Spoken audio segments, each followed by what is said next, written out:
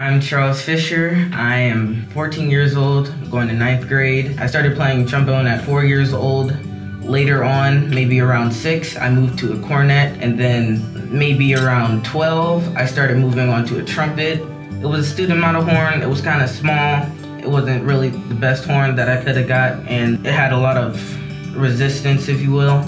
My dad saw me improving, and so I asked my dad, where can we see about getting a horn? The horns that we were looking at were pretty pretty expensive. You know, I've been l- looking for a, a versatile instrument for about three years.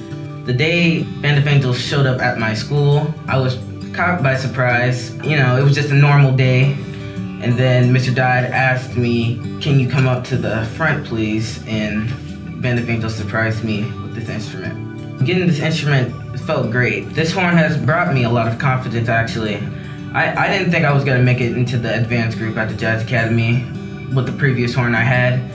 This horn got me into the Jazz Academy advanced group at the American Jazz Museum, and I will be playing auditions with this horn. This horn will take me very far. It is a great horn, and hope to do great things with it. I'd like to, you know, be a professional trumpet player.